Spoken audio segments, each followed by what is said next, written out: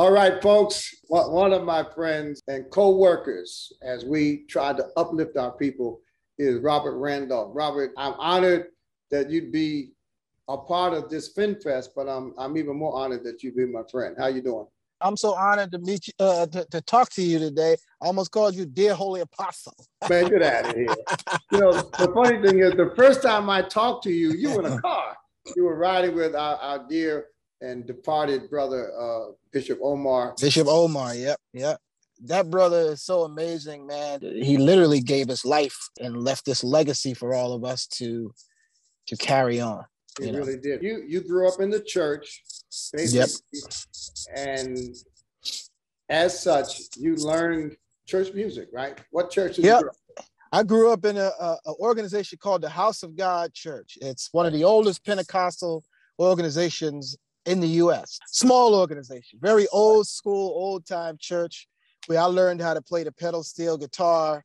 And in our church, the pedal steel guitar is basically like the organ in the Baptist church.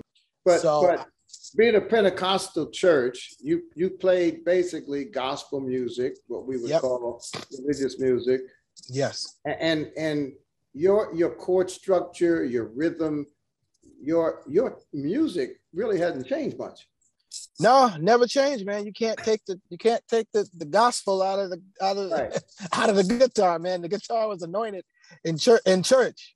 So, so how did you chords, get from a small Pentecostal church to a major platform in so many genres. I mean, you, you're R&B, you're, you're gospel, you are um, what? Blues, rock and roll, blues, country, rock and roll. Funk. Yeah. I mean, well, so what happens, our church music start, got discovered by a, a folkloric record label called Arhoolie Records. And th- they started to document our church's story of pedal steel guitars being hit in a church because it was never heard in this in this context. So how did they find you? How did they find you, Robert? We put on the a thing called the first, which was the Sacred Steel Convention, oh. and where all of our players uh, came together for the first time. So they came to our church. They started to document the story. I met a guy there. He uh, said, "Hey, man, this music has a much farther reach than what you guys have been doing." So I played at a, a club on, on Mercury Lounge in New York City. We literally played all of the same music that we played in church right at this club. Right. And that's sort of been our connection. The name Robert Randolph has always been affiliated with music that lifts people and picks people up and give them that sense of hope.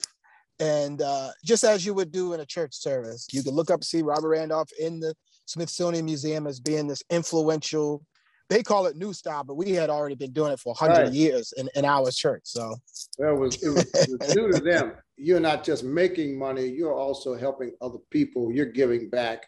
You, you, you organized the largest celebration of Juneteenth we've ever had in this country last year. What made you do that? C- coming off of watching the, the, the George Floyd incident, the murder, and watching what that did to the world, and saw that the world was looking for a need to unify, something to come together. I saw that through the, through the story of Juneteenth, through its history, through our history as Black Americans in this country. Right. Now we have a holiday that we could come together and celebrate. I want yes. to congratulate you for that. you, you know that today is a festival of a different kind. Today is a festival to connect people with financial resources, but it starts with people being willing to ask for help it's great that this festival here today is providing answers, solutions for people on the spot. So I'm thankful. I'm actually happy to be a part of this festival. Now you have a chance to do two things. First of all, you can hear Robert Randolph's music as documented in the African American History Museum in Washington, D.C. You can experience it right now. So, when you go to Washington and see it, you'll know exactly what you're seeing. And you have a chance to click the link that takes you to the source of help that you need. There are live people right now ready to talk to you about you. So listen to Robert's music, connect with the resources. Don't be ashamed to accept help. Listen, this is Robert yes. Randolph. I, I can't tell you how much I admire you. All of you should get to know Robert Randolph. You can Google him, go to you, you and you'll see him and you'll say, wow, I know him. Thank you, Robert, for participating. Thank you. Thank you. Thank you, Pastor. Your music. God bless you. Thank you very much. I appreciate it. Thanks for having me.